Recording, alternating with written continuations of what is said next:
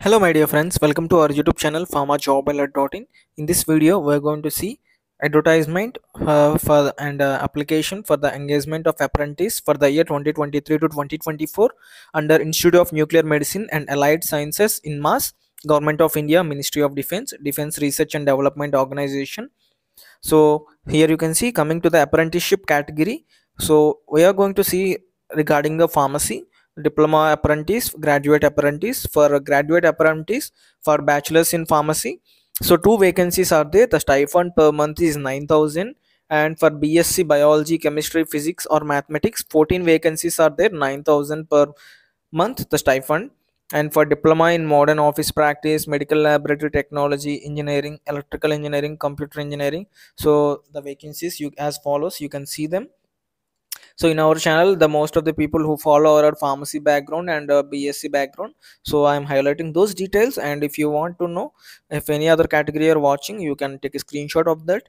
So coming to the procedure to apply for this the starting date of application is 23rd january 2023 and the last date of receiving the application is 22nd february 2023 so still time is there. Today is uh, 2nd february. So there are march 20 then there is much time for you. So here you can see procedure to apply. You need to visit the website uh, web port, uh, first of all.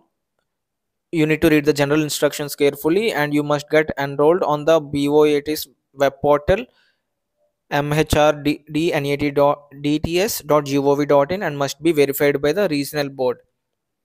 And the candidate i mean you need to apply through establishment or INMAS institute of nuclear medicine allied sciences user id on the portal.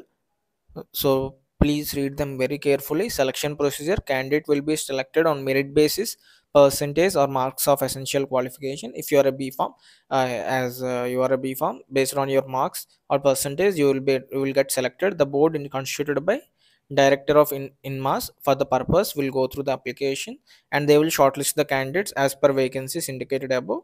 Selected candidates will be informed so there are some terms and conditions for selection of apprentice must be registered with their names at uh, mhrd.dats.gov.in non-registered candidates are likely to be rejected.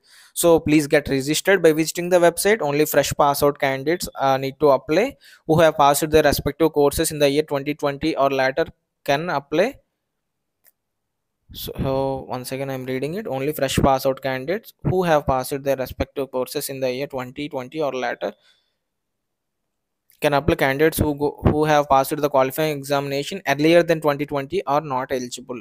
So from 2020 onwards you can apply if you are a 2020 bpharm passed out candidates with a post graduation degree are not eligible to apply. If you are studying your pg or completed your pg you are not eligible. Only those can- candidates who have applied their qualifying examination as regular candidates are eligible to apply.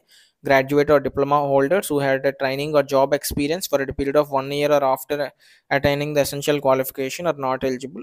So likewise there are some uh, terms and conditions please go through them thoroughly and apply for the opportunity. So try to grab the opportunity if you have a good percentage or marks in your b pharmacy. So these are the details my dear friends. I hope you enjoy the i mean uh, like the information and uh, be enthusiastic. Try to apply for all the openings in government sector. Who knows that you may crack the opportunity. Thank you for watching my dear friends. See you in the next video